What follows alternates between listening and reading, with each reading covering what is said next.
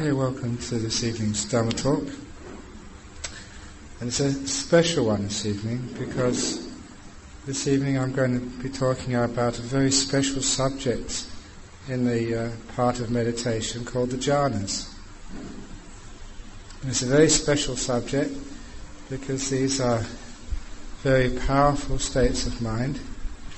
They are parts of the path of meditation and they were so exalted by the Buddha, and so praised and encouraged, that he called the jhanas the eighth factor of the Noble Eightfold Path.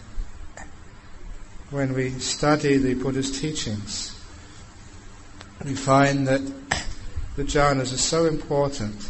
He said such things as like the jhanas are the path, without jhanas there's no path. Okay. Thank you, nice to see you, bye bye.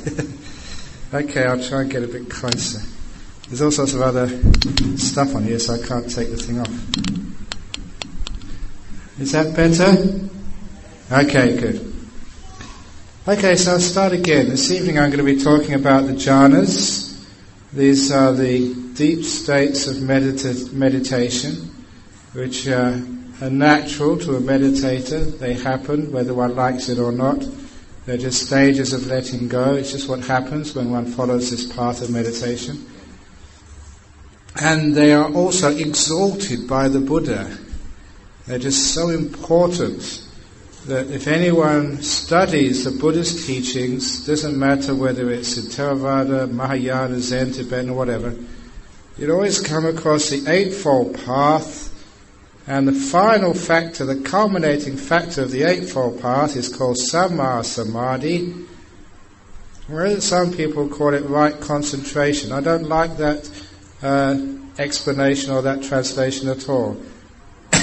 Simply because concentration gives too much idea of force, concentrating, of like a, an exertion of willpower. Whereas the jhanas, as I'll explain later on, are completely different than any sort of strong willpower. In fact, there are states where the willpower has completely disappeared. Which is much, I prefer the more accurate translation, It's like stages of letting go, of complete letting go, of right letting go. So, in the same way in English, we have the Eightfold Path starting off as right view, right thought, right speech, actual livelihood right effort, right, mind, right um, mindfulness. And the last factor I call right letting go. And this is the jhanas. And those jhanas are so powerful that it was the reason why the Buddha became enlightened. The story of the Buddha's enlightenment, many of you will know, will recognize from the time you were in Dharma school or because you've been reading books after leaving his home for six years, the Buddha to be tried to practice austerities. He'd never got anywhere with asceticism, and he gave up all of that, and he remembered the only time in his life so far he'd attained a state of deep meditation as a young boy under the rose apple tree while watching his father perform a ceremony Spontaneously, he attained the first jhana state, and that was obviously because of his previous lives. And he hadn't practiced that for all that time, and just before his enlightenment, he recalled that experience. And according to the sutra, which is very powerful, so powerful I remember it by heart, it's the Mahasaccaka Sutta, number 36 in the Majjhima Nikaya. He said, Why am I afraid of that happiness, of that bliss, which has nothing to do with unwholesome states? Referring to that experience of the first jhana. And the insight came to him I will not be afraid of that happiness and bliss, which has nothing to do with the uh, unwholesome states and understanding that in order to get into those jhanas, that you had to have a reasonably healthy body, comfort of the body. He gave up his austerities, took a good meal, had a bath, rested, and then gathered some grass and sat under the Bodhi tree. And under the Bodhi tree, he practiced those jhanas again, got into the deep meditations, and from there developed the insights which made him a Buddha. And after he became a Buddha, he then taught this middle way, an eightfold path. And the eightfold path culminating in these jhana states. And I mention that about fear because already some of you yogis on this retreat, when you start getting into deep meditation, you too get a bit afraid. Because one of the main reasons why you get afraid in this deep meditation is because you are losing control. And you're meant to lose control. you're meant to let go. And especially you're meant to allow that part of the mind called the doer to completely disappear. One of the reasons you're getting afraid is because you're losing your ego, your sense of self. This little thing inside of you which you've been so attached to but once it disappears, then you may understand what the Buddha meant by non-self. You've got to allow it to disappear first before you can realize there's nothing there. But in the meantime, we're having to let go of many, many things. And when you let go in these deep meditations, you get to such strange and weird states of mind because you've never been to these states of mind before. Sometimes it's very rare for a person even to be in a state of mind where they're not thinking, where they're completely silent. To the point that sometimes that is strange enough and people feel a bit afraid. They're not thinking, ah, what's happening? But many of you know that even in that stage where the thinking absolutely stops, you don't have to hold the mind still. It's perfectly alert, without a commentary. That peace is very wonderful very beautiful, very relaxing. Later on, you get to the stage where the body has disappeared. You can't feel the hands, the feet, the legs, the head, anything. Sometimes, again, people feel afraid. Ah, what's going on? but you know from experience, it's just wonderful to be free of this body. So you've got no aches, no pains. You don't have to worry about scratching anything. The mosquitoes or flies can land on you. You can't feel it. There's no heat and there's no cold. You're completely free of the feeling of the body. That's beautiful. That's wonderful. When it first happens, though, you get afraid. Why are we getting afraid? Because we're losing something we think is important. We really think that if we're not always aware of our body, something's going to go wrong. You're breaking off attachments. And when those attachments are let go of, things disappear, and we start to feel more and more free. In particular, as I said last night, that when you let go of these five senses, seeing, hearing, smelling, tasting, touching, with the disappearance of those five senses comes a disappearance of the body. With the disappearance of the body comes a disappearance of the five senses. Because these two are intimately joined up together. When you can't hear, you can't feel. You can't see, smell, taste. It's all gone, this body. The awareness of the body has disappeared. You don't know what's going on. It's fascinating to understand that sometimes people think that these five senses are here to protect the body. But actually, it's the opposite is true. The body is here to give a field for the five senses to play around in the world. The body is actually serving the senses, not the other way around. And when you let go of the body, when you let go of the five senses, all that's disappeared and you feel an immense sense of freedom. The joy, the happiness which comes with the appearance of the nimittas, what I was saying yesterday, is all because the five senses have completely vanished and the body is gone. The suffering which is there with the body, the suffering which is there with the senses, has now disappeared. Now I'll go on about that later on when we understand what suffering is. But just actually to mention it to you, the most beautiful sight, the most pleasant feeling, the most wonderful sound is so awful compared to the silence where there's no sound, the emptiness and no feeling. When everything disappears, that's the happiest of all. And you experience that. so what happens when you've been meditating so far and you get to the stage of this nimitta when the body's completely disappeared when you can't hear anything, and you can't even feel your body. At that particular stage, you'll find a lot of peace, a lot of happiness, in fact, quite a lot of joy. When that nimitta arises, it's very brilliant and bright and beautiful and happy. And this is an important thing to understand that that happiness, that peace, that bliss is because a big burden, a big heavy weight has been taken off you. Imagine that you were born with a big backpack on your back and you've had lots of rocks and stones and weights and uh, bars of iron in that backpack. And you've been carrying it around ever since you could remember. And once you come on this retreat and you take off that backpack for the first time in your life, and you feel, ah, the weight has gone, I feel so free, so light. Now you can understand what that simile means. In that backpack, you've got your body, you've got your seeing, hearing, smelling, tasting, and physical touch. And that's been with you ever since you were born. And now you've been able to take that off and put it down. And you're free from these things. That freedom is incredible happiness.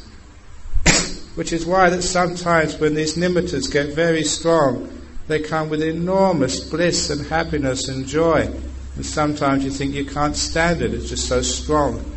Sometimes it appears to people when a nimitta is just so brilliant and bright, it's like you're going blind but also it just gives you enormous energies, rushes of bliss and ecstasy. This is the nature because something has disappeared which was a big weight and a burden. Your five senses and your body. And this is actually what happened to the Buddha. Everyone goes through the same stage of letting go, abandoning things. But there's still one more thing left which stops you from going into the jhanas the thing which is left, which stops you going into the jhanas once you get to the nimitta stage, is the last bit of doing, of will, of choice, of control. Now, I've already mentioned from the very beginning of this meditation retreat, it's all about letting go, leaving things alone, abandoning things, putting things away, putting things down, which is why the jhanas are stages of letting go. Letting go of what? Many years ago, I started to wonder about being a monk was so difficult.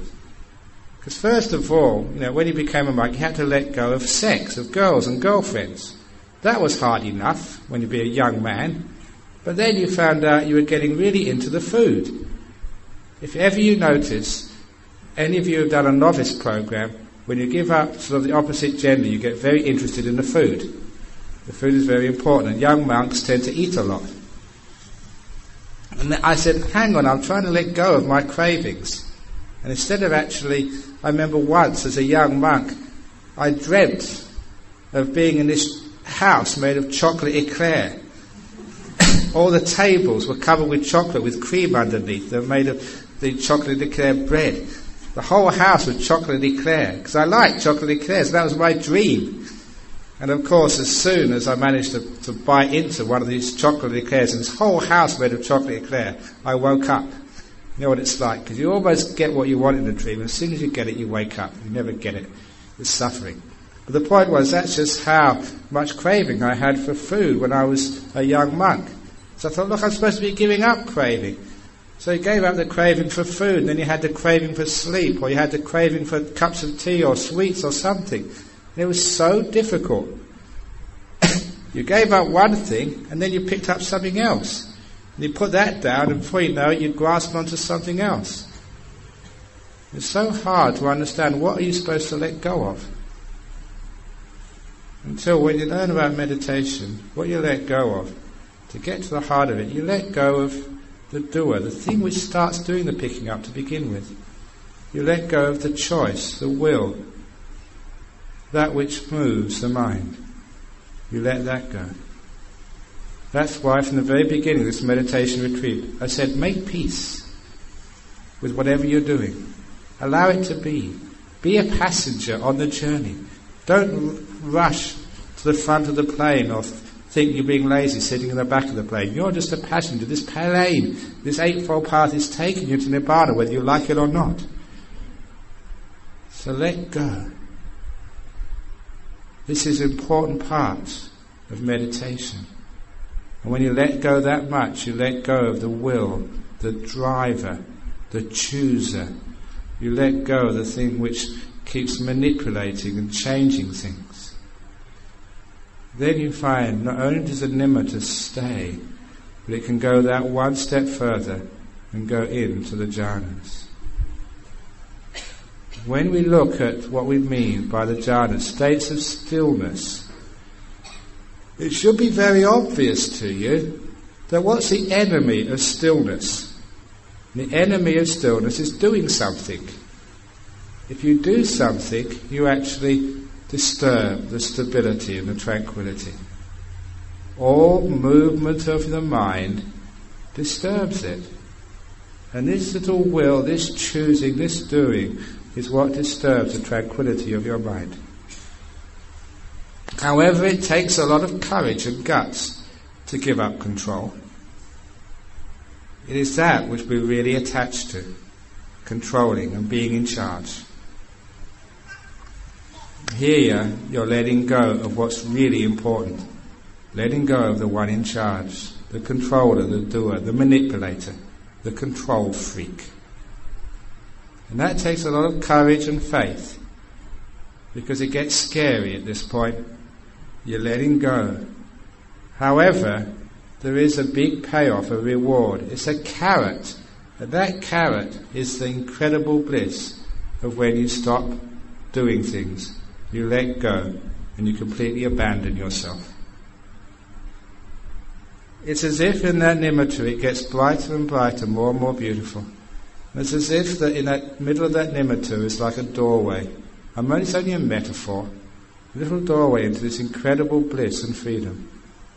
And you're scared to go in that doorway simply because you have to leave so much outside. You have to leave basically what you take yourself to be your identity, your ego, your controller. But it's so beautiful inside, so enticing. The time will come when you can't resist it. You just allow yourself to go inside. And inside, there's incredible bliss and peace. But inside, the one thing which you notice is that the will, the ability to do things, has been stripped away from you. You can't move. You can't do things. Now that's an important sign of the jhanas. The states of no will. It's because there's no ability to choose, to will, to manipulate, to do. That's one of the reasons why these states are so still there's nothing to move them. So after the nimitta stage, if you keep doing this letting go practice and you have enough guts, enough faith, or you are just drawn by the power of the bliss, you'll enter these incredible weird stages, um, weird um, states of mind called the jhanas. For those of you who know the description, it started off as Vivicceva Kamehi, Vivicca Kusalehi Dhammehi. This is the Pali, just to show that I know this. It's not just speaking from experience, it's also from the text as well. It means Vivicceva Kamehi means completely separated from the five senses. Kama, not the K A M M A, not the law of karma. This is like the five sense world. Kama, this is the Buddha's description. These states of jhana, you're completely away from the five senses. And you're away from all the unwholesome um, states of mind, in particular the ability to do something. You're stuck, you're still, you're frozen. That's why you're so much at peace. Something has disappeared. when you get to such stages, you can tell it must be a jhana state because you can't hear anything, you can't feel the body, nor can you smell, taste, or, or uh, see anything. All those five senses are subdued to the point that they're just not there for you. Which means if someone comes and tells you, hey, come out, it's lunchtime, It's not that you ignore them, it's just you can't hear them. If someone comes along and pokes you, you would not feel it. You're just beyond the physical body. You're completely safe. For those of you who get a bit scared, ah, if I'm not there to look after me, what might happen? And I told the story the other night about that guy who went to hospital because his, his wife thought he was dead. He got into one of these jhana states because he truly let go. His wife came into the bedroom because he'd been meditating longer than usual, couldn't see his stomach going up and down, called the ambulance. The ambulance came along, put him in the back. Oh, they took his pulse first of all, could find no pulse. Took him to the hospital, into the emergency room, put on the ECG, which was flat, no heart activity. Then the EEG, his brain was dead, no brain activity at all. Top class equipment, the equipment wasn't wrong, he was just meditating. So still, not even his brain was moving. And he was there for a few hours and he came out afterwards. But the reason I told the story again was because I also asked him, didn't you hear that ambulance siren? Siren? Because those sirens are really loud.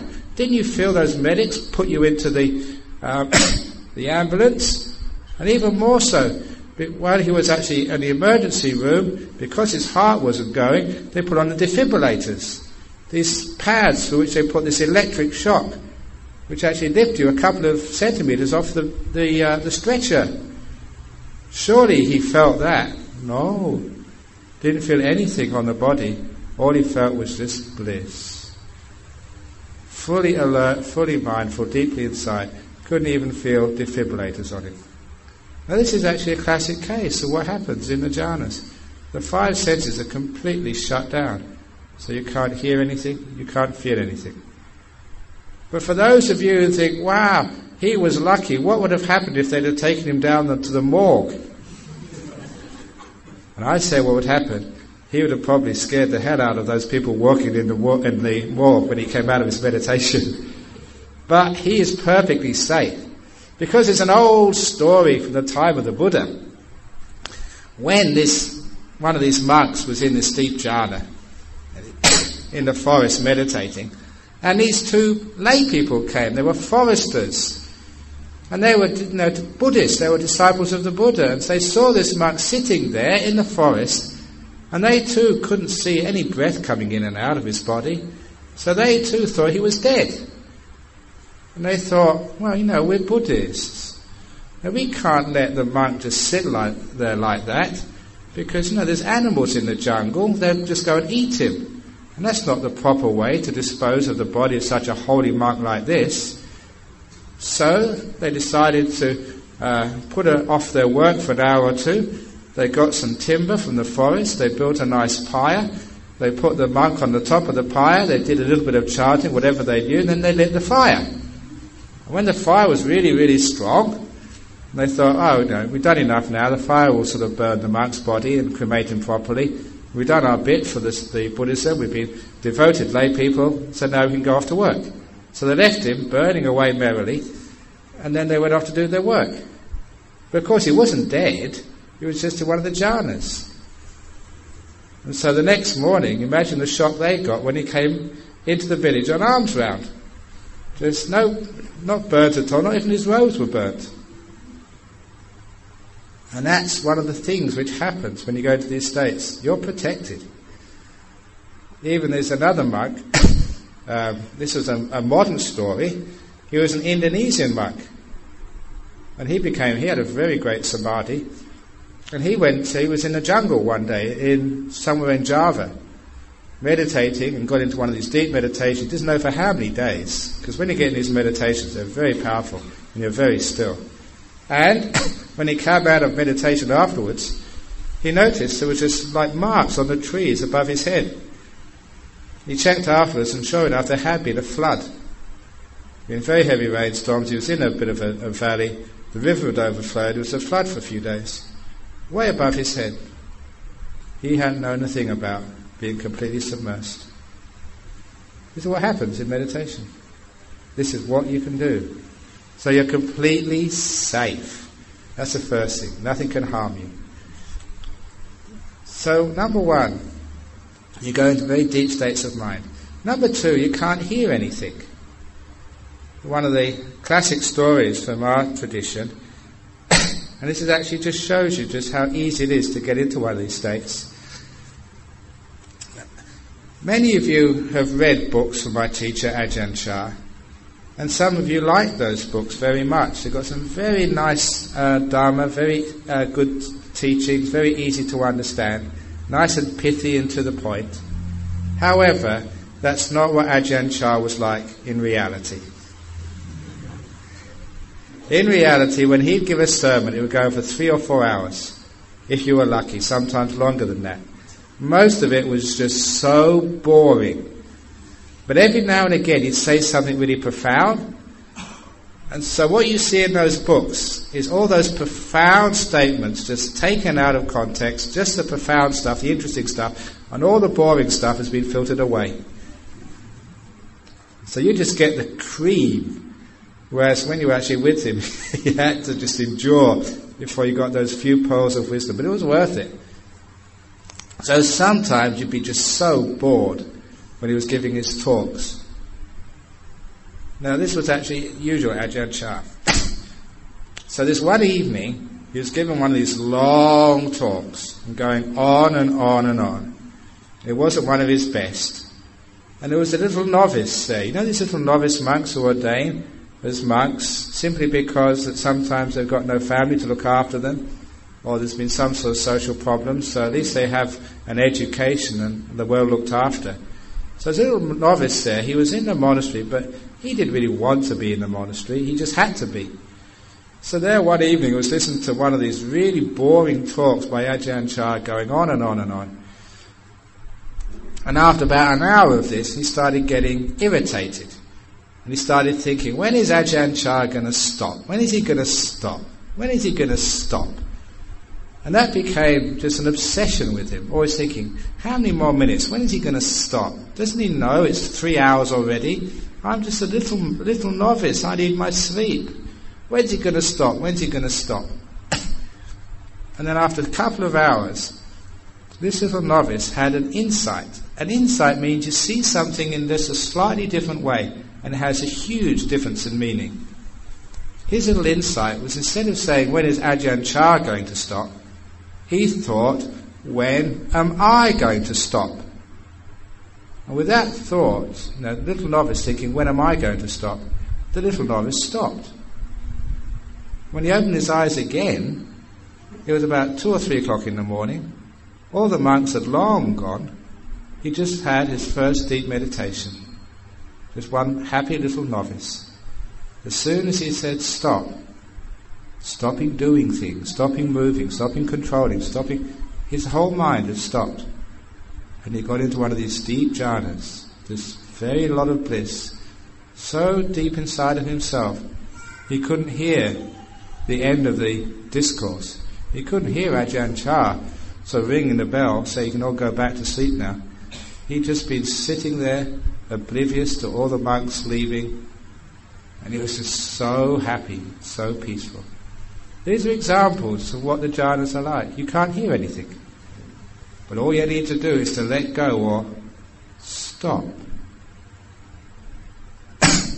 stop doing things.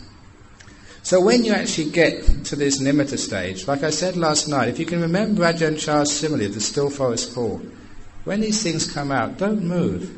Don't do anything. Don't try and get further. If you try and get into a jhana, you'll never get there. Some monks who get their first jhana spend years and years trying to get back there again because they forget how they entered. They entered by giving up, not doing anything, by letting go, by stopping. And you get this stupid idea that you have to work to get there again. And because of that craving, it creates the doing, and that stops you re-experiencing those things. So now you know that the way to get there is be content. Stop doing things. This is good enough. Be still, be peaceful, be patient. Going back to that simile of the thousand petal lotus, when you get to those beautiful nimitta stage, those beautiful petals like bright lights in the mind, you don't do anything. you make your, mindfulness even more still. And only if it doesn't move at all, the nimitta open up. This is actually how you experience it. You're just watching this nimitta, this beautiful bright light.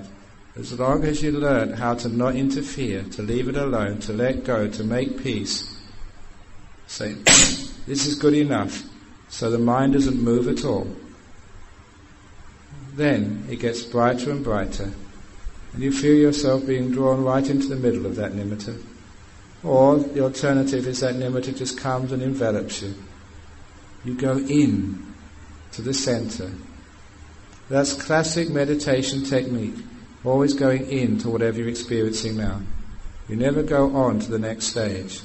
The next stage is always inside the one you're experiencing now. I don't know if you've ever seen those Russian dolls. These little dolls made out of wood. You open them up, there's another little doll inside. You open up that one, there's another little doll inside that one. You open that one up, and there's another little doll inside of that one. At my last retreat, somebody gave me a set of those Russian dolls because they wanted me to use it for visual aids when I talked about jhanas. I should have brought it along, but I didn't, sorry. But this is exactly what happens. In the side, the middle of the nimitta, you open that up and inside is a jhana. So all you need to do is keep focusing and stop doing things. And you find yourself just going in. While you're inside these jhanas, sometimes that you wonder exactly what's going on. You don't really care because you can't move anyway. You, just blissed out. After a while, you emerge from the jhana. It's only after you emerge can you have any idea of what was going on. You cannot assess the jhana while you're inside.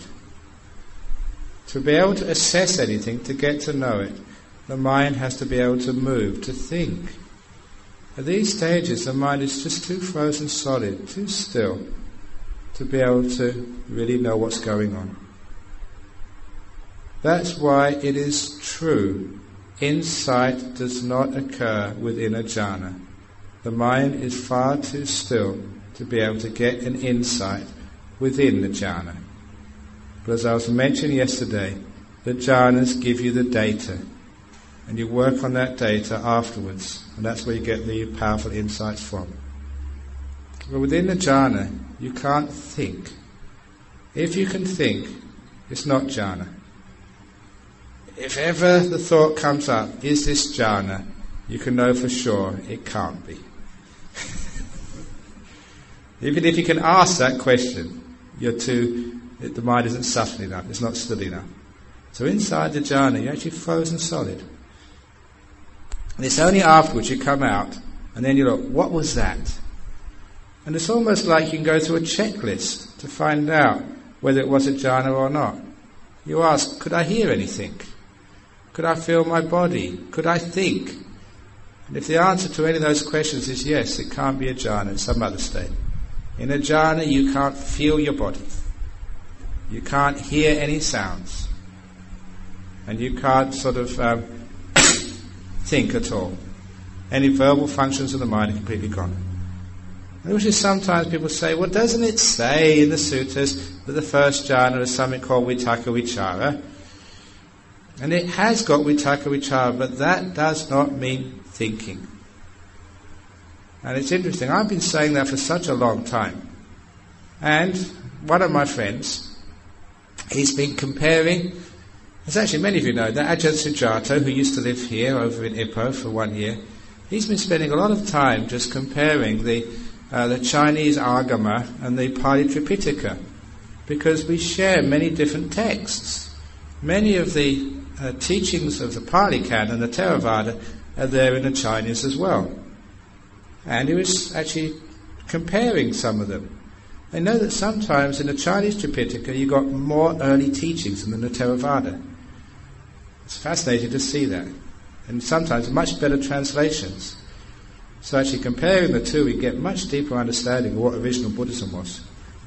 but anyhow, when it came to Vitakka Vichara, he found that when it comes to jhana, they use different Chinese characters for vitakka vichara than if they do when it's ordinary thinking. Even the whoever translated those, that Chinese knew that these two words, these Pali words, have a different meaning for jhana and for outside of jhana. Because outside of jhana, yeah, it does mean a movement of the mind which becomes thought. Within the jhana, it's a pre-verbal movement of the mind. Because what happens in a first jhana, this is first stage once you go through the nimitta, the object of your mind is bliss. If you ask yourself afterwards, what was I aware of? People always say bliss. But you'll find the important feature of the first jhana is that bliss is not stable. It's got what I've called a wobble. What's actually happens there is you have the bliss in front of you, and because this is the first stage of the jhanas, the mind is not absolutely still yet. It holds on to the bliss. It grasps it. And because it grasps onto the bliss, that makes it unstable. And then the attention just moves away slightly from the bliss. Because the bliss is so strong, it pulls you straight back there. You, know, you can't go too far away. You can't go back into the world of the body. And because it pulls you back again, that um, pulling the mind back onto the bliss, that's called the vitakka. The grasping, the holding onto it is called the vichara. That's actually what those two words mean in that context. The mind moving to its object, holding its object. Those are the things which are the imperfections of that first jhana state. It's only known by a little bit of a wobble in your bliss. And only then, after many, many times of going into that first jhana, can you recognize those states. Because these are very fine states of mind. You have to go back to them many, many times to really understand what's going on. While in there, all you're doing is collecting data. You can't work anything out. Your mind can't think. When you come out afterwards, you will always say, My goodness, what was that? That was the most powerful experience. You go back, you look at it using your what's called um, reflective mind. And you look at what happened there, you may be able to see there was a wobble going on. And that was a sure sign it was the first jhana. what happens usually is one goes into the first jhana first. if you have enough letting go, the mind doesn't actually hold on to it anymore. You can actually let it go. You can just allow the bliss to be without grasping it. In the Pali, it's called like internal confidence of mind. In other words, you're willing to let go 100%. You got that degree of confidence to fully abandon all of the mind's doing. If you do that, then that bliss is absolutely stable and solid. The second jhana is the refinement of the first jhana. Just like those Russian dolls, it lies right in the middle of the first jhana. The second jhana, the, the most important feature, is that it's like a diamond samadhi. You can't move at all. There's absolute stillness there. When I say absolute stillness, sometimes you think you've known stillness before, but this is the peak of stillness, because there's no movement at all nor is there any movement possible. Even the potential to move has been completely taken away.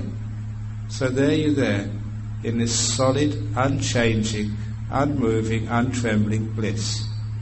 Completely still, but very aware. Because of its stability, second jhana usually lasts a long, long time. Remember, within these states, you can't you can't manufacture a thought, it's time to come out. You can't do anything. You're frozen still. Like, an, you're like yourself has been frozen in ice, it can't move. It's like a diamond, like a rock, immovable. That's why that's called the first time of purity of samadhi. Samadhi means the sustained attention, the stillness of the mind, coming about through letting go. Here nothing moves at all. The whole world has stopped, dead in its tracks. And that's why sometimes when people see you in that state, they think you're dead. Because they can't see anything moving. And inside, there's nothing moving. It's just bliss, unchanging. So there's a neat state of mind to experience. But you can go deeper. As you go deeper, you find that the bliss which is in the second jhana has got a rough part to it. But as you let go more and more, in the, in the special case of the second jhana, half of that bliss disappears. that is called a piti. Now, many of you may have uh, read the books about these jhanas and know that piti sukha, like sometimes it's called joy and rapture, and all these different monks and nuns trying to define what those mean and what the difference is. The point is that because they always go together everywhere except in this third jhana state, you can't really distinguish them.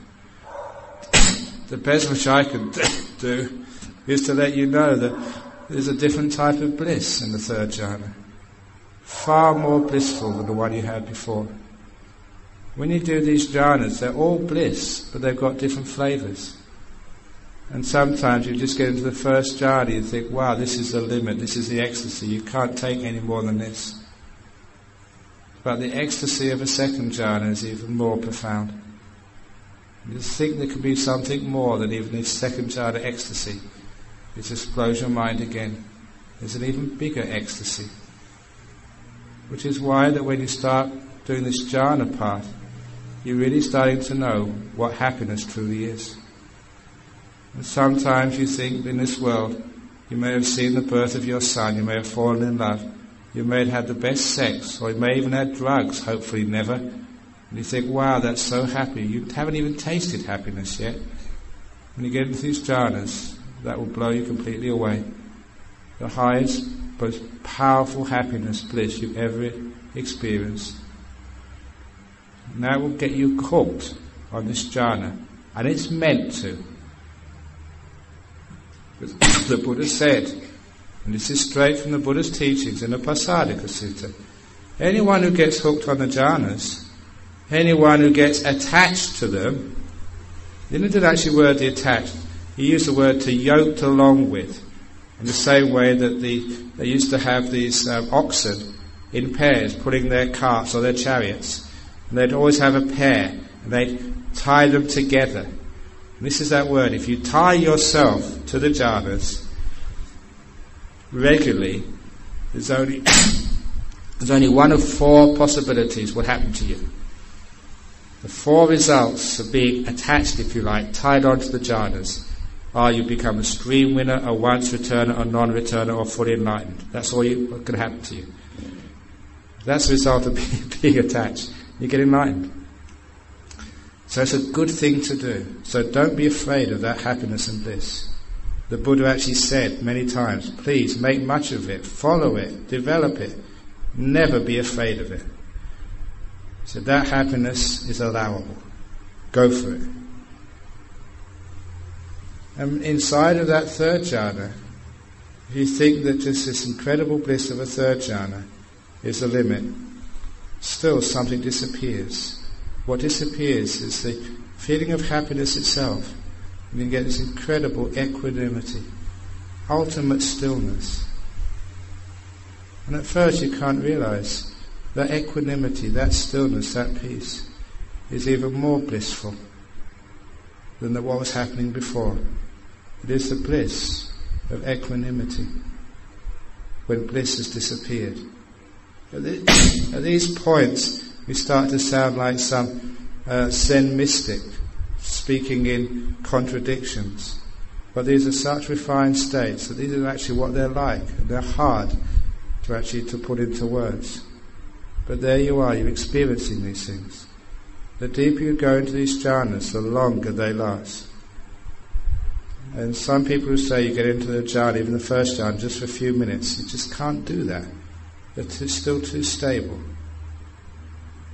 When you get into these jhanas, there is something which I call a ping pong jhana, because sometimes when you get to nimitta, you go into the jhana, but because you're terrified, you know, you're, not, you're going to a strange place, you're not used to it. it, is almost like an ah, and you come straight out again. You've blown it, stupid.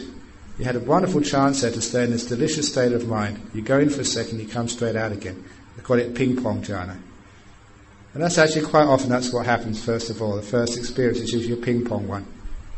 It's incredible bliss for a few seconds and then out again. You can't stand it. Later on though, if you had a taste, you go back again for sure. It's just too delightful, you can't forget it. And one of these days you just go into this thing. When you go in there, you stay meditating for hours. when it comes to lunch or breakfast or whatever, you're just sitting there. You haven't got a clue what's going on outside. You're just so happy inside. Know, one o'clock in the morning, two o'clock in the morning, three o'clock, and you're still sitting there, haven't moved. You get in there this evening, tomorrow morning, I give the chanting, you're still sitting exactly the same place, haven't moved. Happy as anything. The only point is, if you see anybody like that, just be so gentle with them when they come out. Because when you come out of a jhana, wow, that's just the biggest experience of your, of your life. And you know, you can't just go straight away to lunch. You're just, wow, this is amazing. It takes a while for you to gently sort of calm down, or not calm down, but actually to get alive again and come back to earth. because you've been in a very refined state of mind. And afterwards, your mind will still be very refined, even though it can now perceive what's going on outside. The five senses start to come back again. Still, you're just so sensitive. You've got to give people a time just to actually to come back again. But it's not dangerous at all. These give you incredible, powerful insights. And so these are the jhana states. They're powerful. The Buddha actually said this is where like Mara can't get to you. The reason why Mara can't get to you because Mara is the controller, the controller in, in chief. Mara is like the devil in Buddhism. He's just like the deluder. He can't have any power over you, just delude you.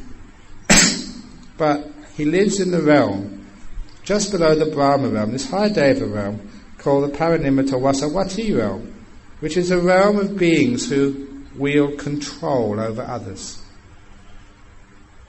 That's why in these jhana states, can't get to you. There's no controlling is possible there. You're away beyond Mara and the sense realm. You're in the realm of the pure mind. Some of you may have gone to temples and seen, they call it Tiloka Arama, the three realms, three realms of existence. All the realm of the, this realm, the heavenly beings, everything you know is called Kamaloka, the realm of the five senses. Above that is called Rupaloka, that's the realm of the jhanas. And above that is Arupaloka, of the immaterial attainments. When you get to a jhana, you literally are going into the second realm of existence, the second world.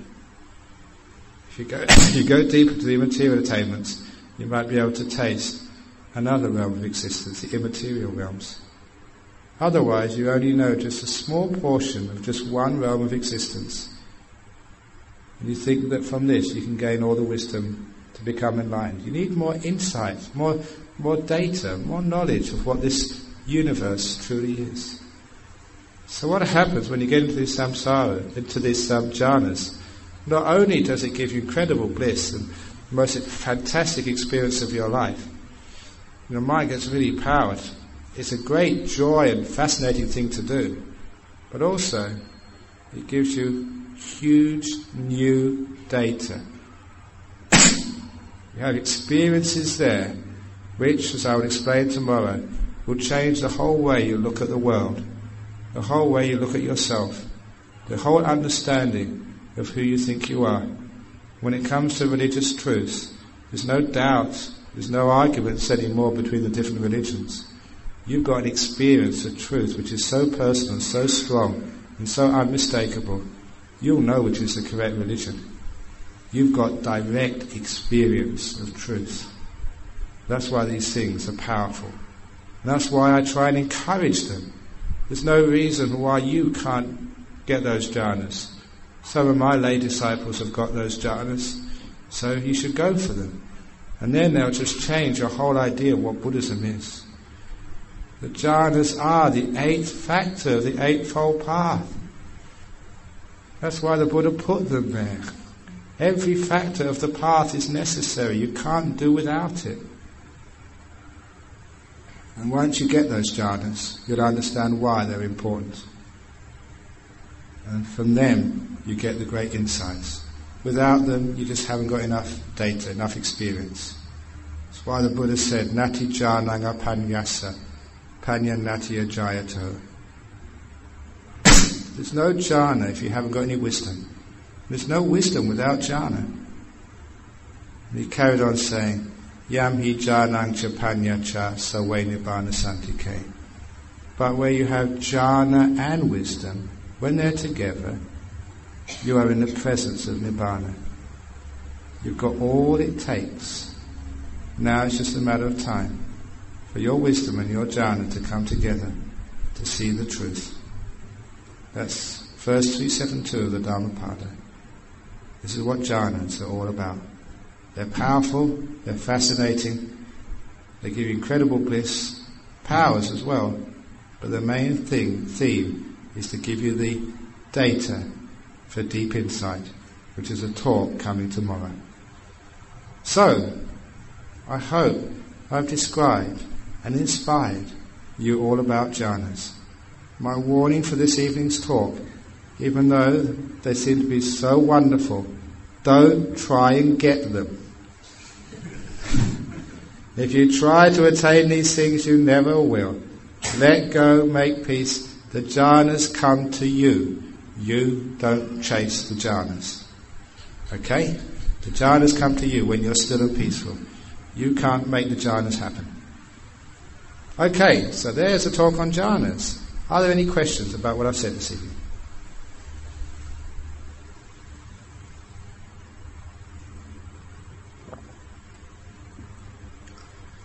Sometimes people wonder, why am I a monk? Ajahn Brahm, you got all these degrees, you're a fit young man. Why didn't you sort of leave and just go and get married, have fun, make a lot of money?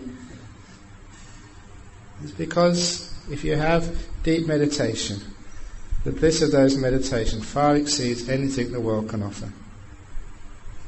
Which is why that when a person gains those jhanas, they're not interested in the world you get something far more powerful. They're conducive to complete letting go.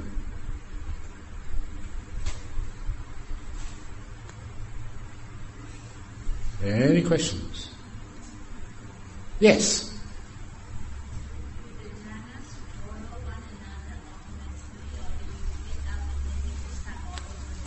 Do the jhanas follow one another automatically? They do. Going back to the simile of the Russian dolls, or the simile of the thousand petal lotus. If you get inside the nimitta, this beautiful lotus is already opened, there's only a few petals left. And when that nimitta opens up, the first jhana is inside. And the second jhana is inside the first jhana. The third jhana is inside the second. So to go into, say, the fourth jhana, you literally have to go into the first, the first gets more still, and you go into the second. The second gets more refined, you go into the third. Your third gets more refined, you go into the fourth. If you stay there, you have to come out the same route. After the fourth, you have to go through the third, the second, the first, and then you come out. So you go through each one because they're just the refinements of each other, like a deepening. So this is always the way. Which means that you can't sort of just come out at first jhana and then go into the third jhana. You always have to go first, second, third, fourth, fourth, third, second, first.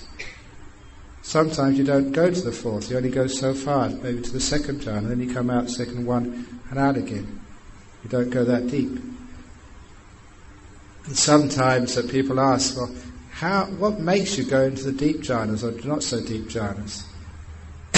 And once you're in there, you can't decide where you're going to go next. You're too still, immobile. You can't do anything.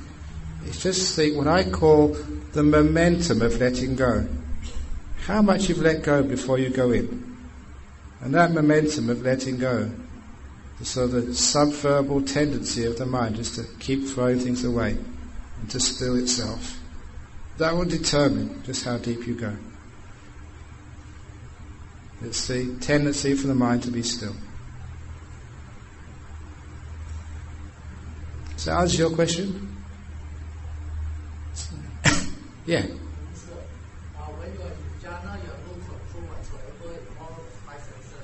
Correct.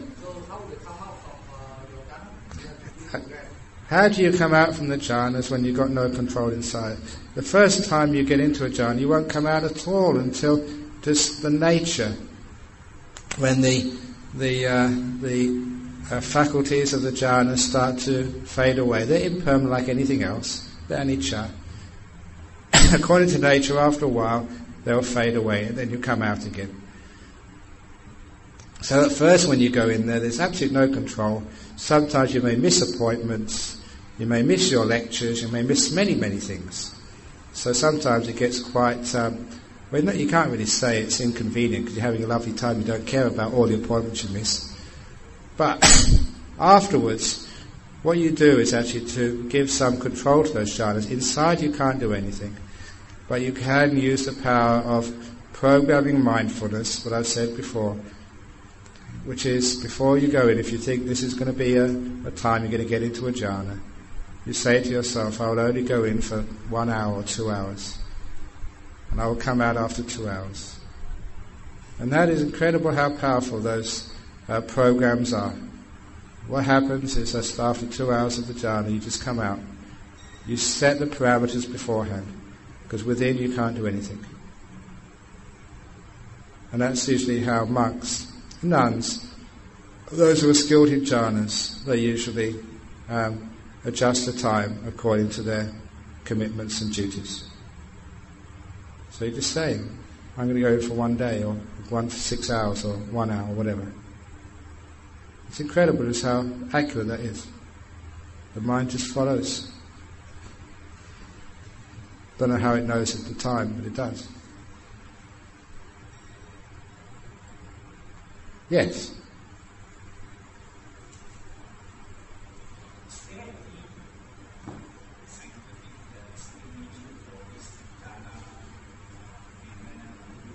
Is there any explanation, scientific explanation for the jhana? Is one very rarely do you actually get monks willing to actually to put themselves under experimental conditions.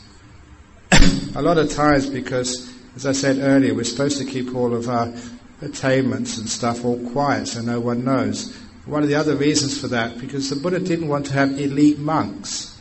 We're all supposed to be the same. No matter who you are, you always wear the same robe. You don't wear like a lame robe if you're like an enlightened monk, you know, with all sorts of stars on it. You don't wear sort of stripes on the side if you're like a sergeant monk or a captain or a general monk. So all the monks look the same. The Buddha wanted them to be the same. So we don't have elitism. Oh, he's an arahat. Oh, he's got the first jhana. Oh, he's got second jhana.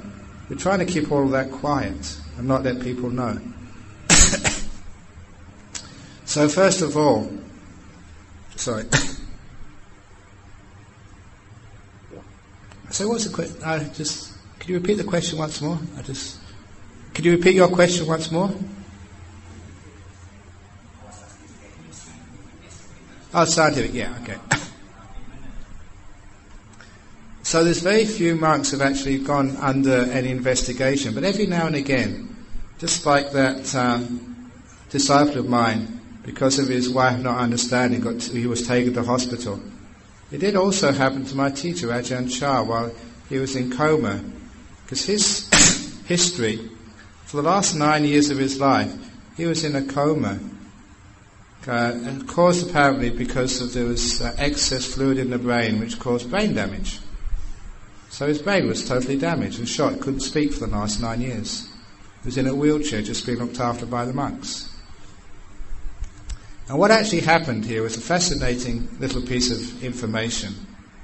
First of all, that when he had um, the stroke which uh, caused the coma, the monks met together, all his disciples, and said, Look, it's a waste of time trying to keep Ajahn Chah alive. Let's let him die. He's done his job.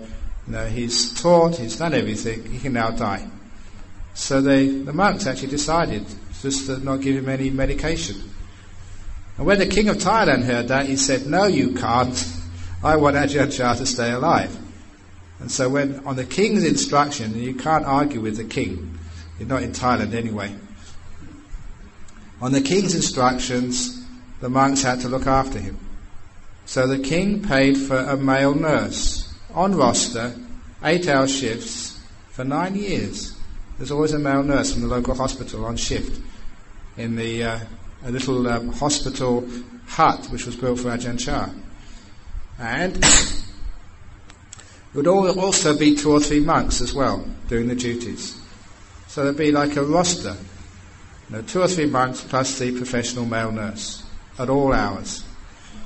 And one of my friends was on duty one night when Ajahn Chah stopped breathing. And of course the nurse got very um, concerned and frightened because the nurse has only been trained in medicine thought Ajahn Chah's stopped breathing, he's about to die. Now everybody knew that Ajahn Chah would die one day, but the nurse didn't want Ajahn Chah to die on his shift. so he wanted to try and revive Ajahn Chah. And the monk said, no, leave him alone, he does this all the time, he's just going into jhanas. Because in the deep jhana, the fourth jhana, according to the text, you don't breathe. The breathing stops. And so there's this big argument. You know, well, Ajahn Chah wasn't breathing. And they said, look, we've got to get him breathing again. Because if you don't breathe, there's no oxygen going into your lungs, so the blood uh, depletes of oxygen, and therefore your brain starts to, to die. You get brain damage if you can't, don't breathe for I don't know how many minutes. So they came to this amazing compromise. They allowed this nurse to take blood samples every few minutes to test how well oxygenated the blood was.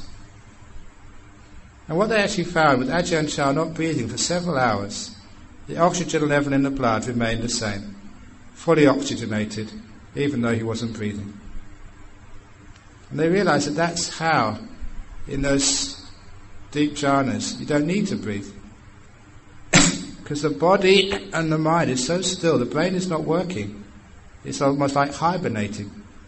So you don't need any oxygen. So that's why you don't need to breathe. So all the body is doing is saying, look, there's enough oxygen in the blood. It's not being used. It's still there. Therefore, no need to put any more in. That's why you stop. Um, you stop breathing. And the reason why the heart stops pumping, because you don't need that blood going around. Everything is well fed, so everything stops. So even the blood stops as well, pumping. The heart stops beating. Because it doesn't need it. Everything is so still, there's no energy being used. Therefore it can all stop. So actually that's one of the only two times I've known. Oh, there's another time when there's one another disciple in Perth. Uh, the reason he managed to get into deep meditation is because he had this incredible back pain. He had so some congenital um, stuff going on with his back, and he had to go to the palliative care unit in one of the Perth hospitals. And you know, his pain was so bad that, according to even the law of the country, any drug he could take, everything was legal, because his pain was just so bad. but what he did, remember him coming up to me once after one of the meditation classes and said, Brahm, I'd finally done it. I've done it. And I thought what he meant, because I knew he was messing around in a hospital. You've got the ECG flat. You know, when he's got these, uh, the ECG measures your heartbeat. So you managed to get that flat with your meditation. He said, no, that was easy. I did that months ago. I've now got the EEG flat, he said. and that measures his brain waves. So in the hospital, you know, they were measuring his EEG and ECG and he could just go into deep meditation, get everything flat. And then he laughed and he turned around and said, See all those people in the back row there? They're all the doctors and nurses from my hospital. They want to come and find what the hell's going on. and the only reason he could do that was actually because his pain was so bad that was the only way he could escape from his pain by going into deep meditation. So those are the only times I've known that scientists have got some machines on these guys and see what happens and why it happens. So yeah, there's a few times the scientists have managed to uh, find somebody in a jhana, and this is what happens. Hasn't been anything formal because there's so few of them and they don't usually uh, exceed to being experimented on. Yes.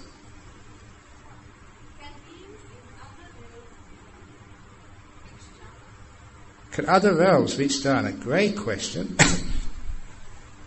in the Brahma realm, the Brahma goes in and out of jhanas. It just goes to rest there for a while. But there are other realms, and this is fascinating, that I've mentioned when you die, you go to that light. That's um, classic experience for everybody who dies.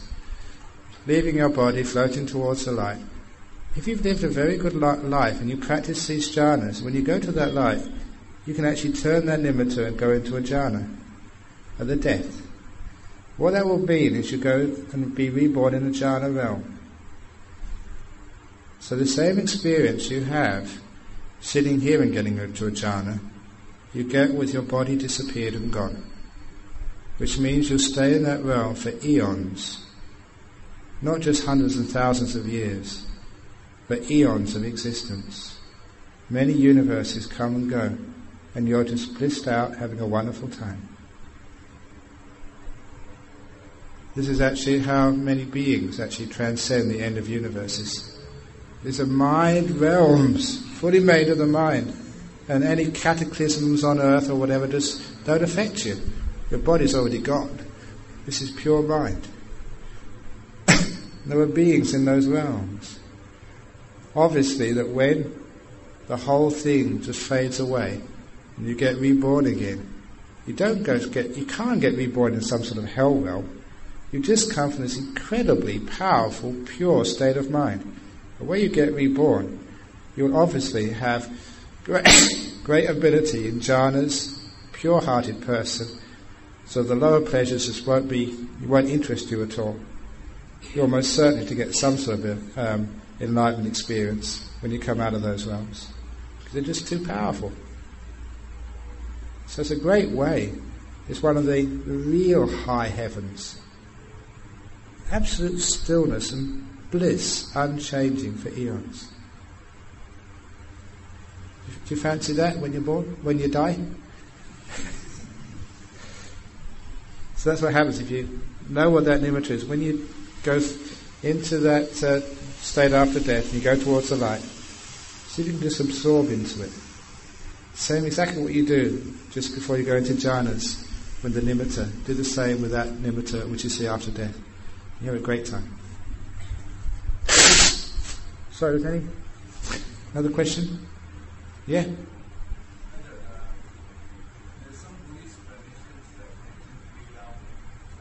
Mm-hmm.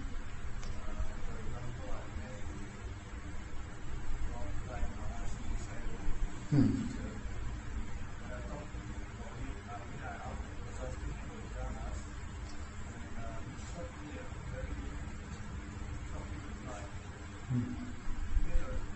But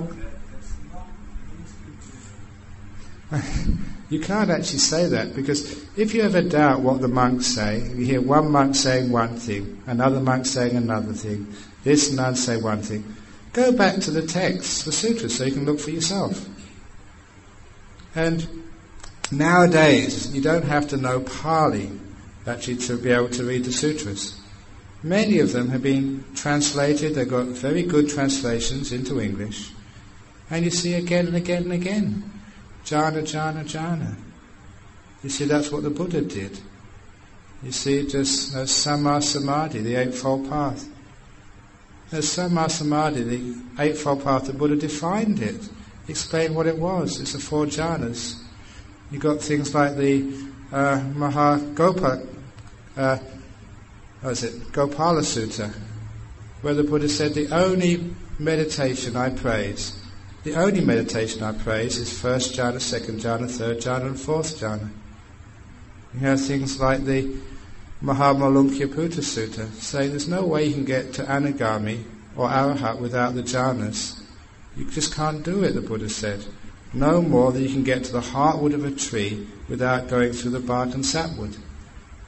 You have in the Anguttara Nikaya, where the Buddha said that, that without perfecting Samma Samadhi, without perfecting the four jhanas, you can't perfect wisdom. It can't be done, said the Buddha. There's so many teachings in there that well, if you look at it for yourself, it becomes quite obvious what's right and what's wrong. So if you have any doubts, don't believe the teachers, don't believe the monks, no matter how senior they are. Go and find out for yourself what the Buddha said. And all the books are there. Go and find out. So that has to be the final authority, what the Buddha said. It's all there. So yes?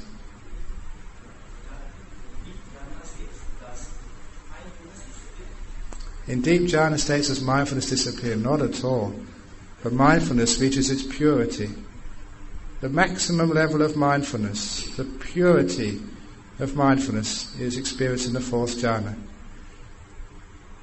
That's what the Buddha said. Sati Parisuddhi, the purity, the peak of mindfulness. Point is that mindfulness is like the passive awareness. I mentioned that in one of the first talks. that if you're doing something, you're actually not really being mindful. If you're taking notes, you're not listening. know what it was like? I remember going to lectures when I was at university. If I looked at the lecture and I started taking notes, I wasn't listening to the lecture anymore. It was just very difficult. Should I take notes or should I listen? So these days, most lecturers, they print the notes out first of all, or actually afterwards. And I know these days, actually, they sell the lecture notes. they do it at universities in Australia because I see them do that. And it's worth it because you get the lecture notes, so you don't have to actually to write them down. You can actually concentrate on what the lecturer is saying. So to be fully mindful, you can't be taking notes. You can't be doing anything except being passively fully aware. So real mindfulness comes from stillness of mind. You're just fully alert, but you're not moving. This full stillness is in the fourth jhana. And that's when you're fully alert. Mindfulness is focus, still. Sometimes I've called that, just to give it a, a, a worldly meaning, total listening. I don't know if you're married, but have you ever totally listened to your partner? That means putting all aside, all the history, all the past and all the future, not having an internal commentary, not trying to second guess what she's saying, but having such stillness and such openness that all the lines of communication are open. Same with the woman. She should learn how to totally listen to her husband. That's a hard thing to do. In relationships, too often people say there's no communication. He's not listening. She doesn't understand me. And the reason is because we don't know how to listen, which means full mindfulness full openness. Nothing going on inside. No, here she goes again. Doesn't she know I'm tired? And she says the same old thing every time. Da da da da da. If you think like that, you're not listening. You have to be fully silent. And then it goes in. That's the same when I said about mindfulness when you go into lectures at university or school. If you're totally silent, everything goes in. And it remembers. You can remember it at the examination. I call it total listening. Still mindfulness. Powerful, it works very well. Yeah.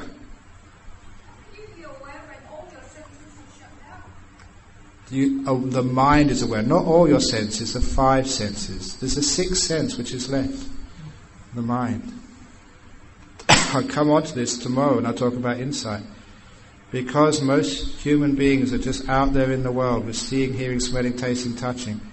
A lot of times we start to doubt whether the mind even exists. We think that some scientists say it's just a part of the brain. But when all those five senses have stopped, there's something left. Something which has nothing to do with seeing, hearing, smelling, tasting, and touching. And that's the mind. And then you understand what the mind is because you're there with it, you're experiencing it. You know it, so you're aware, but just of mind. No sounds, no smells, no tastes, no touches, no sounds, sorry. You're aware of a different area. So aware, fully aware, you get to fully know what the mind is. After you've been into a jhana, you've got no doubt about what the mind is. One of the results of that, you've got no doubt about rebirth. Because you know so clear that the mind is something which is not destroyed when the body goes. When the body dies, the five senses go, but the mind continues. So you've got no doubt at all about what happens to you when you die. All this, do you go to heaven? Should you be a Christian or a Muslim or a Hindu or a Buddhist or a Jew?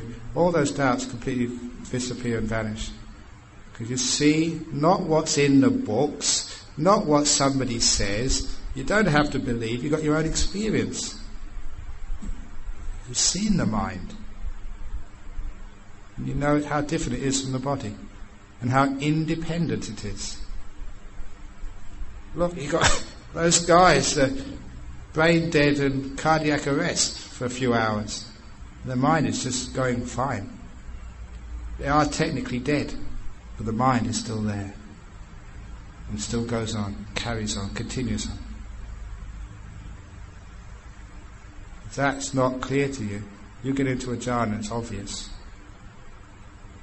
That's why these things are called insights. Tomorrow I'll say that one of the great things that jhanas gives you is the insight into rebirth. And it's a great thing to know. Because there's all these arguments about do you live once or is there such a thing as reincarnation or not? Is there a mind or what is the mind? You don't solve those arguments by believing pastors or by believing monks or believing books or just believing it because you're supposed to be a Buddhist and that's what your mother believed. You've got to find these things out for yourself. To find out the answers, not through belief, but through raw, perfect experience. So you get one of these jhanas and all those questions will be answered. You'll see for yourself. They have this saying in the qualities of the Buddha, the Dhamma the Sangha, about the Dhamma, Pacha Tang He, to be seen each wise person for themselves.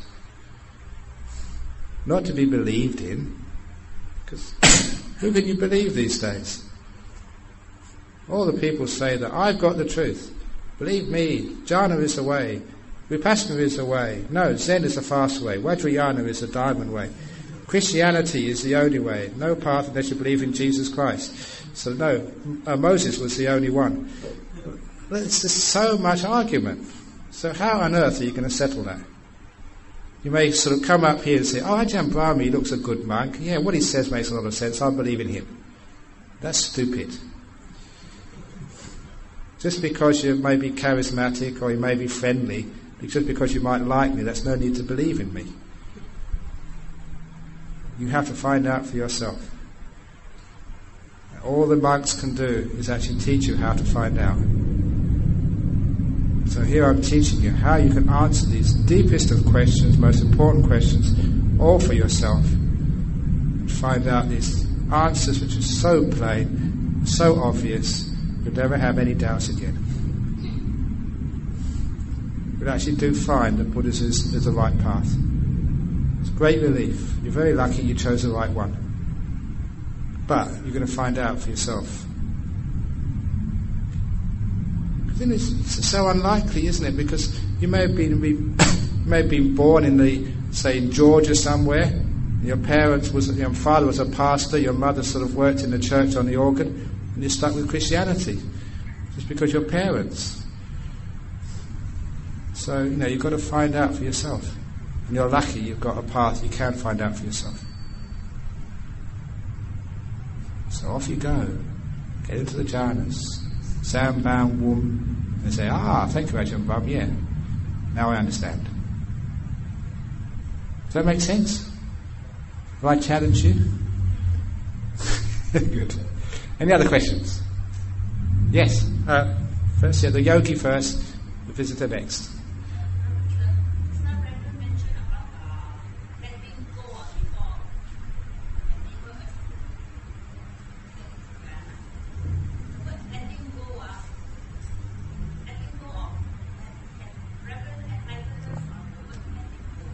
Go. Okay. Imagine that you are in a balloon, like a hot air balloon. Have you seen these hot air balloons? They probably have them in Malaysia as well, over the world, in this nice basket, and you, and you put some hot air or some um, hydrogen in the balloon or helium, and you go up into the, the skies. It's really good fun. you go so high, you want to go higher. So the only way of going higher, you've got these bags of sand, ballast, you've got to throw out of the basket. As you throw them out, you go higher. Then you think, what else can I let go of to go higher? So you look at, you know, your sandwiches and your thermos of, of uh, chrysanthemum tea or whatever you got in there. So you throw that out as well. And you go higher and higher. And then you go so high, you've got nothing left in the balloon. And you think, what else can I throw away? And the long time you just get that high and you can't go any higher. What else can I throw away? And the insight comes up. Throw away the basket. So you untie the basket, and the basket goes hurling into the earth, and you're holding onto the ropes. You go really high. And then you think, you've gone so high, but you're still not to Nibbana yet. What can I throw out now? What can I throw out now? And then the insight comes. I throw me off. and then the balloon goes off into the jhanas. now, in that simile, now the ballast and your sandwiches and your uh, of chrysanthemum tea, that's all your attachments, your worldly stuff, your desires. When you let go of all of that, you let go of your family, you let go of all your, your cravings, you go so high, but you can't go higher. Throwing away the basket is letting go of your body. So all the five senses disappear. The basket has gone away. And then you're holding on to the ropes. How can I go further? That's when you have to let go of yourself, the idea of a self, the doer. That's the last thing we let go of. You literally let go of the one who wants to let go.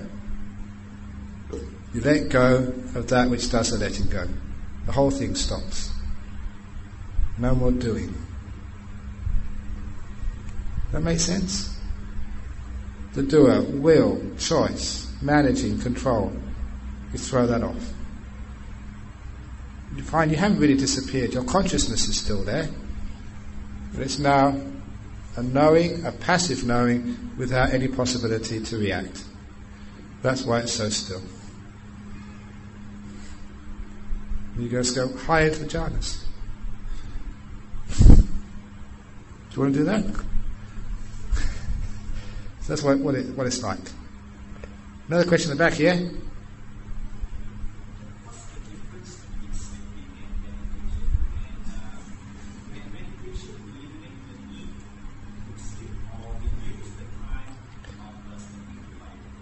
Okay, what's the difference between jhanas or meditation and sleeping? And can you um, alleviate the need to sleep by doing meditation? Second question first, yeah. If you if you meditate very deeply, you don't need to sleep so much. It's nature. Already there's a couple of people here, they don't want to sleep at night. Sometimes they've gone to the bed, they've laid down, and they haven't gone to sleep. Because their mind is just so energized, they don't need to sleep. It's not as if they're going crazy. Later on they want to sleep, but at the moment the mind is just so bright and energized, it doesn't need to sleep. In those deep meditations, the mind is so still, it's rested, it doesn't need sleep. So the first question is it's true, the deeper you meditate, the less you need to sleep. If you get into very deep and powerful meditations, you just don't sleep for a long time. So, What's the difference between sleep and meditation?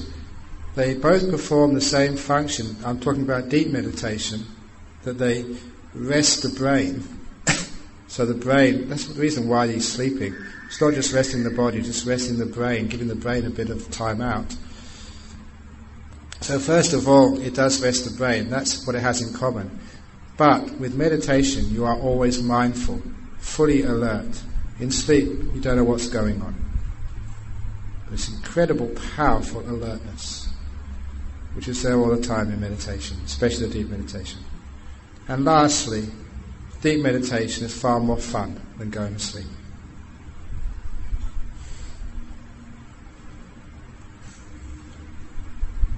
So those are the differences in brief. And also you get great insights from meditation. You don't get any insights from sleep.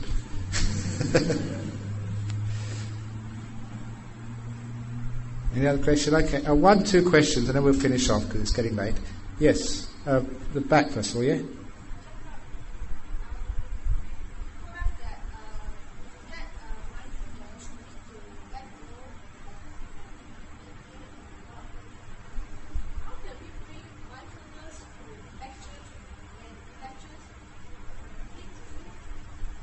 mindfulness onto lectures. A lecture hall, okay. the thing is that when you get to the lecture, you sit down and then you just make your mind very blank and alert. So, like in a lecture, you're supposed to be like soaking up information. So you can imagine like a sponge soaking up water. If that sponge has already got some moisture in it, it doesn't soak up very much. But if that sponge is absolutely dry, it's got no water in it at all, then it can soak up a lot more. So for your mind to soak up things, it should be very still and dry of thoughts and concepts and ideas. And then it can soak up so much. So that's what we mean by being mindful at the lecture. You let go, you relax, you stop all the mind moving, stop it thinking. Just be alert. You're like a cat. You ever seen a cat on your lap? You think it's just being lazy. It's not moving. When a mouse comes by, you can see it's electric. It's absolutely still, but electrically still, just poised. And it knows how to pretend. It looks like it's still, but it's all curled, coiled up, ready. And the mouse comes closer and closer. Then pounces! and it gets the mouse so quickly. Cats are like that, they can be incredibly mindful. So if you can be like mindful like a cat, you're not moving, you're not doing anything. You're sitting there. And all these little bits of information which the lecturer is doing, like a, a cat, you're pouncing on each one. That make sense? Is that, is that what you are what you were asking? Is that the question you were asking? Because are you satisfied? Yeah. Thinking and processing that will come later. At a lecture, you've got to gather the information. Gather, gather, gather, gather, and you can process it afterwards. A lot of time, you know, the processing happens subconsciously. You don't need to think about it; it just all arranges itself naturally. So it's very nice. You can just let the mind do the job, and you can just go and enjoy yourself. And all the answers are just right there. You can trust the mind. It's much smarter than you give credit for. So the next question, last question, yes?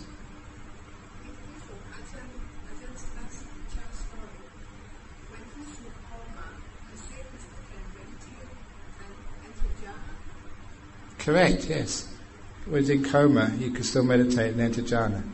And the reason is that many comas, as someone here knows very, very well, sometimes you can't give out the information, you can't transmit any messages, but your receiving apparatus is in full working order. Many people in coma, they can hear, they can feel, they can see, but they can't respond. They can't tell people, yes, I can hear. They can't tell people, yes, I can feel you. They can't tell people, yes, I can see you. That's why it's always the best advice if you've got a loved one who's in coma, speak to them, tell them the latest gossip, the latest news, touch them, let them see you right in front of you. Don't think that they don't know because they can't respond. And they'll be so grateful for you. It's like the two ways, it's like a transmitter and a receiver. Transmitting radio, receiving radio. The receiver is in full working order, they can't transmit, that's all. And that's what certainly with Ajahn Chah. His inside was in full working order. He just couldn't speak back, that's all.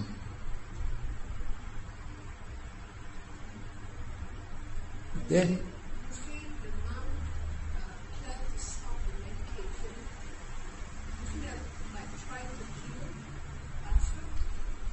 well, this is the old ethical problem.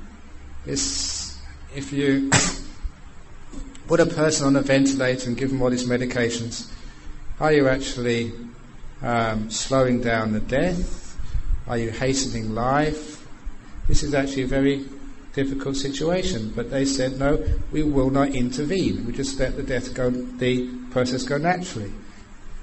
Surely they knew that that was going to be causing the death, but when you look upon these things in a Buddhist idea, that life and death is only the body, the mind continues on. What are you actually killing? You're not really killing the mind, you can't kill that mind. All you're doing is just uh, hastening or delaying going on to a new body or entering nirvana. So let's, let's take it away from the Judeo Christian idea of life being sacred. It's not life is sacred, it's like truth is sacred, compassion is sacred, virtue is sacred. Not the body. The body is just a vehicle for those things. So sometimes when the vehicle is just really worn out, why do people at all costs try and keep the old body going? There comes a time it's not you can't really call it killing because that body is dying naturally. You just leave it alone and allow it to die.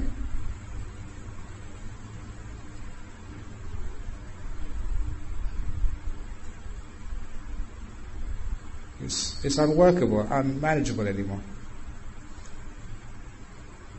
And it's, it's about time people become a bit more courageous, know exactly what's going on, because otherwise just, our current ethics are run on fear. Because we're not clear what's going on, we better keep the body going just in case. Just in case we're making some bad karma because we think we might be killing somebody, because we're not being filial to our uh, parents, because somebody might sort of criticize us that why did you not spend all of the family's money and go into debt to keep your mother alive? When you put it like that, it doesn't make sense.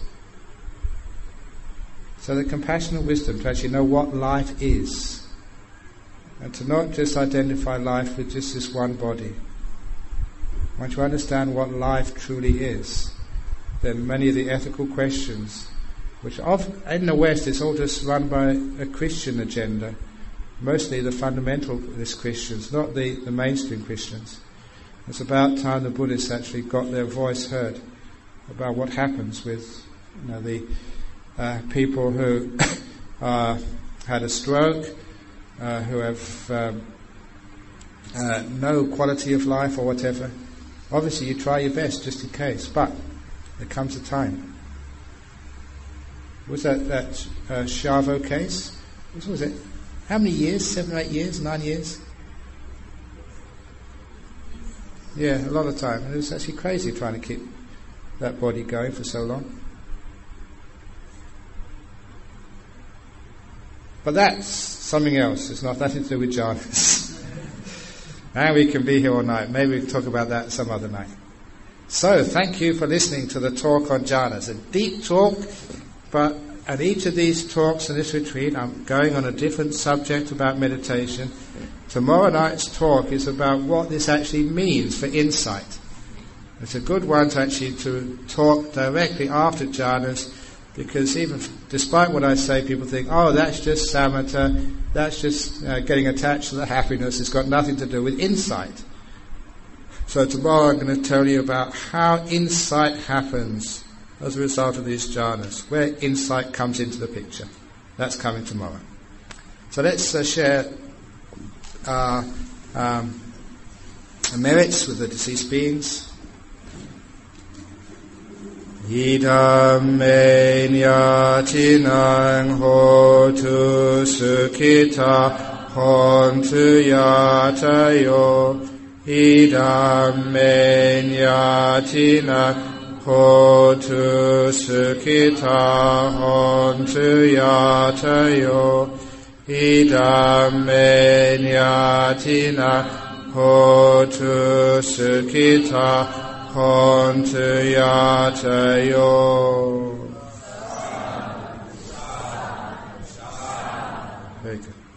Okay.